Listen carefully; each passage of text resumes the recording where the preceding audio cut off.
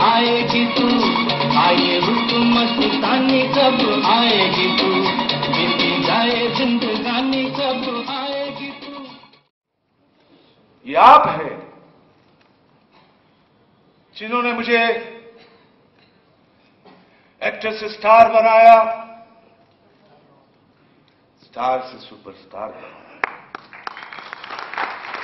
आप मेरी पिक्चरें देखते रहे, आप मुझे प्यार दे, बेचते रहे, मुझे वो प्यार मिलता रहा, लेकिन उस प्यार को मैं कभी लौटा नहीं पाया।